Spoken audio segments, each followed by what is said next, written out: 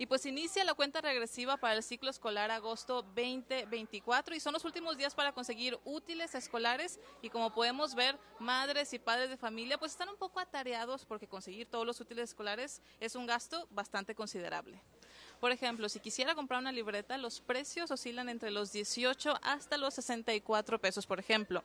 Esta libreta de aquí, que es una libreta normal de rayas, como podemos ver, para cualquier materia del colegio 64 pesos. Ahora imagínese multiplicado por 7, que son las materias de un grado regular, y si tiene más hijos, pues ya ni le digo.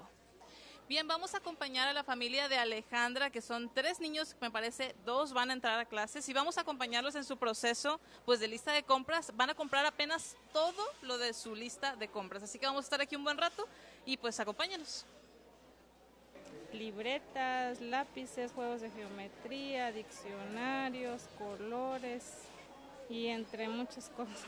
Voy a sexto de primaria. Osmar, ¿te sientes emocionado de volver a clase? Eh, sí. ¿Por qué?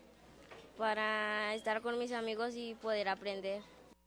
Libretas, bolígrafos, paquetes de hojas, carpetas de colores, pinturas y hasta globos es lo que pidieron en la lista. Después de una hora, llegó el momento de pagar. Al final, la compra terminó en casi 1.500 pesos, pero esto aún no termina.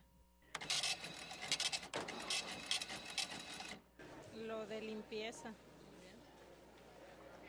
Creo que nada más eso. ¿Y el, el gasto que acaba de, de, hacer es considerable? ¿Cómo repercute en su economía? ¿Es un gasto considerable? Mm, sí. Sí, porque sí, sí se gasta algo. Así que si usted todavía no realiza la compra de útiles escolares, pues le recomendamos venir a buena hora porque como puede ver aún se llenan muchísimo las tiendas, sobre todo en los próximos días que todavía falta para que inicie el ciclo escolar. Y también tome en cuenta el gasto que esto va a representar en su bolsillo. Así que por eso le recomendamos que si usted tiene útiles escolares que todavía le sirven del año pasado, que lo reutilice. Pamela Salinas, imagen.